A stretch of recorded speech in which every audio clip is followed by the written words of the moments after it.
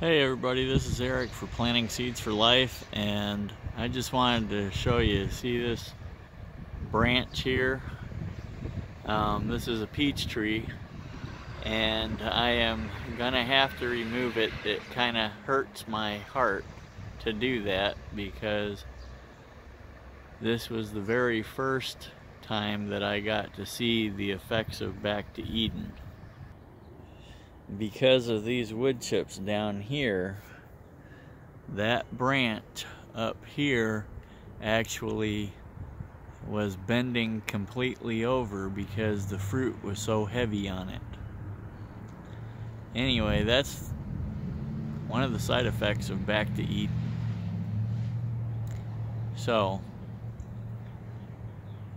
that's my two cents for the day. Thanks for watching. God bless, and see you next time.